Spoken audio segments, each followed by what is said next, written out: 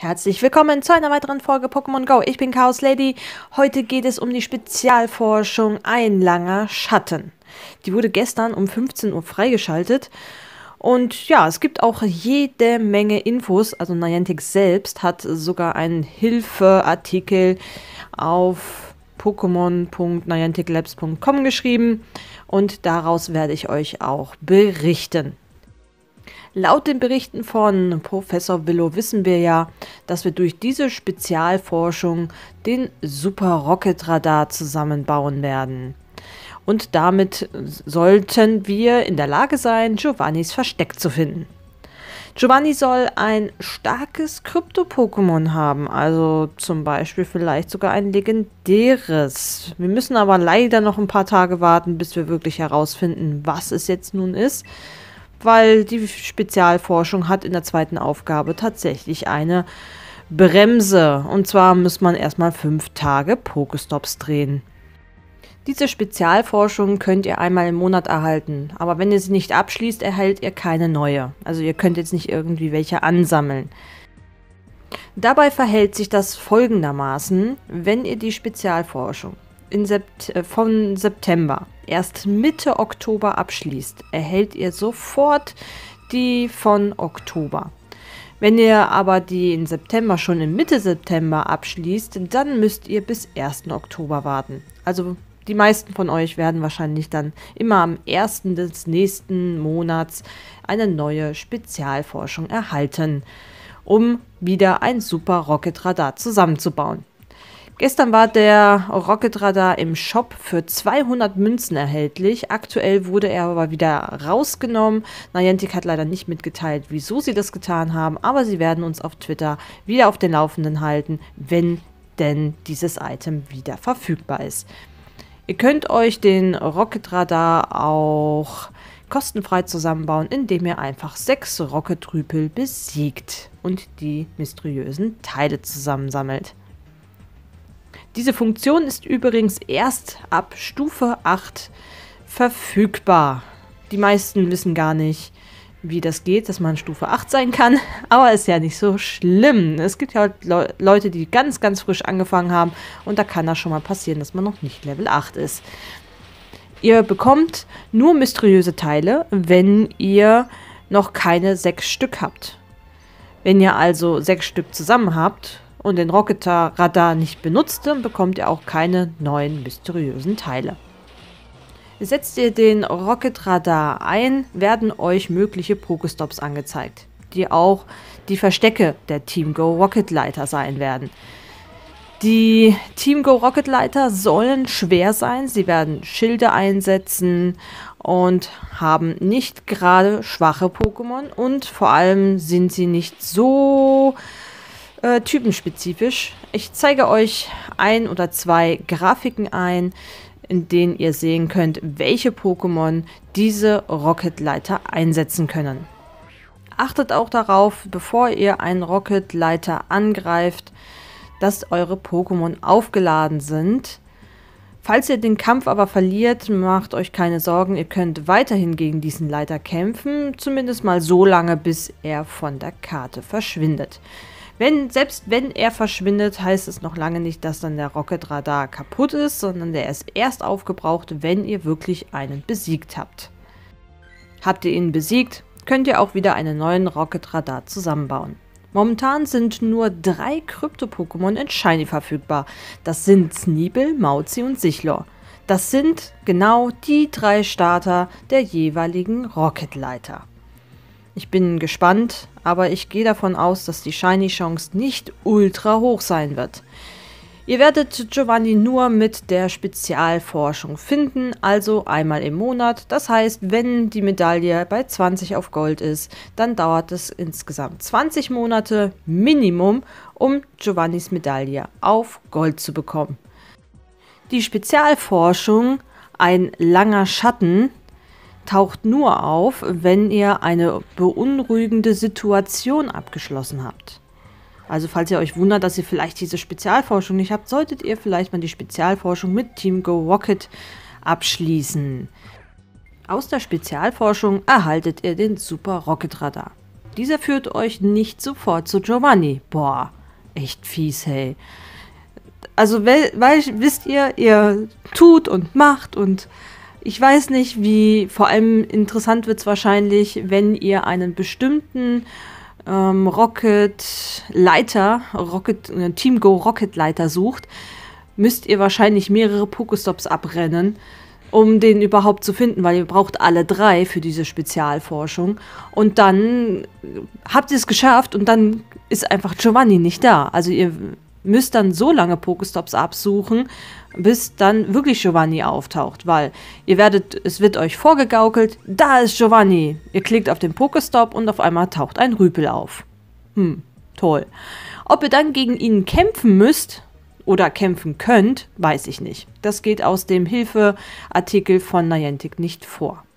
Gestern wurde ein neues Event gestartet. Dieses geht dann bis 14. November um 22 Uhr.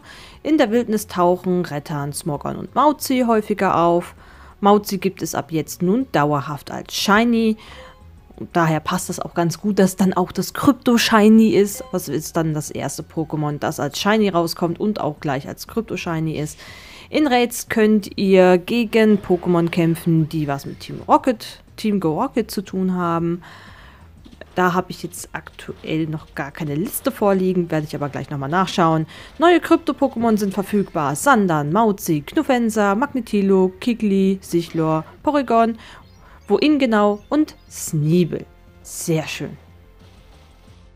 Leider liegt mir eine aktuelle Raid-Liste nicht vor. Ich habe nochmal geguckt, aber stattdessen habe ich was anderes, vielleicht Interessantes gefunden. Es gibt einen Trainer, der hat Alo mit 1500, also mit äh, Superliga-Pokémon besiegt. Den könnte man sich mal anschauen. Das könnte interessant sein. Alo startet hier mit einem Krypto-Sichlor und der Spieler hier hat ein Melmetall auf unter 1500 natürlich mit Donnerschock und Steinhagel gehe ich fest davon aus. Das ist nämlich das beste Moveset für Melmetall in PvP.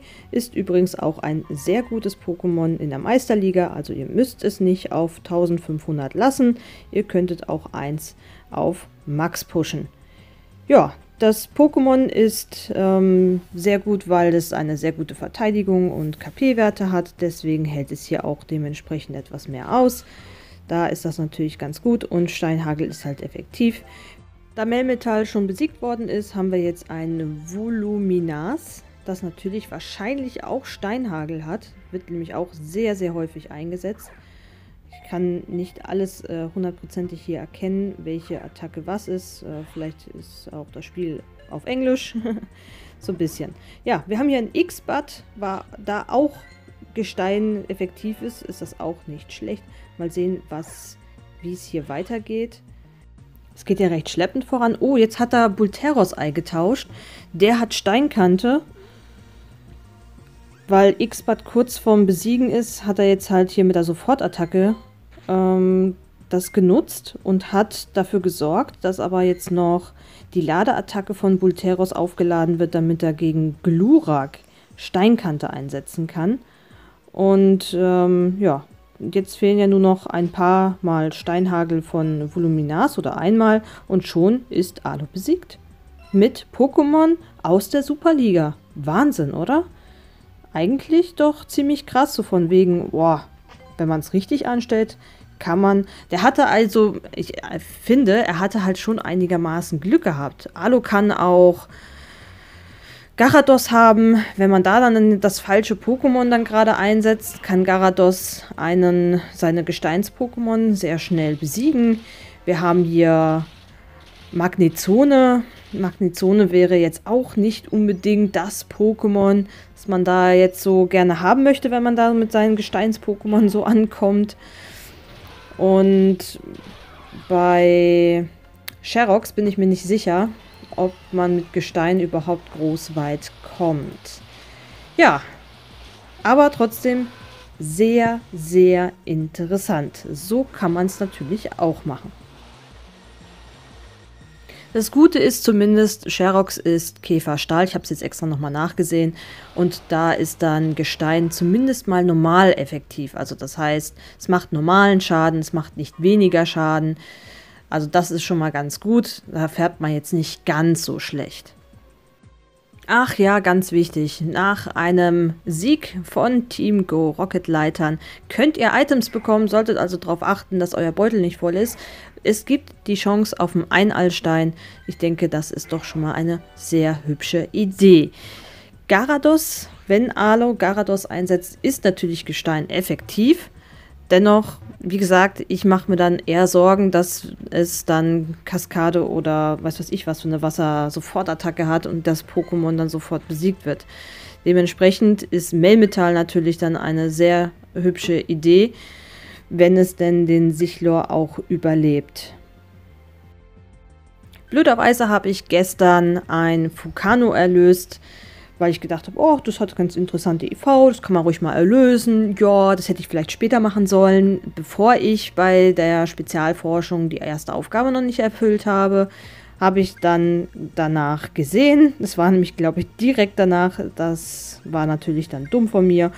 Naja, ich werde wahrscheinlich noch einige Rocketrübel aufsuchen müssen. Drei, drei mysteriöse Teile habe ich hier gerade. Genau, hier hole ich mir die erste Aufgabe ab. Die Belohnungen sind jetzt nicht so ultra. Ne? 500 Staub kriegt man auch bei jedem Rüpel. 10 Pokebälle, naja. Und die 10 Himi, naja. Nicht so mein Fall. Aber ja, ist halt so. Kann man nicht ändern. Professor Willow spricht natürlich hier in der Spezialforschung wieder ein bisschen rätselhaft, obwohl wir ja eigentlich schon alles wissen. Also so ziemlich alles. Von daher kann man hier aber dennoch habe ich mir den Text ganz in Ruhe durchlesen wollen, um etwas genauer zu sehen, was, äh, was er denn so hübsches erzählt. In der zweiten Aufgabe geht es dann etwas länger. Ihr müsst fünf Tage hintereinander an Pokestops drehen und ihr sollt 15 Krypto-Pokémon erlösen. Dementsprechend, ja, dauert das ein bisschen. Fünf Raids, okay, kriegt man irgendwie hin, zur Not nächste Woche an einer legendären Raidstunde. Ich bedanke mich recht herzlich fürs Zusehen. Bis zum nächsten Mal. Batsch.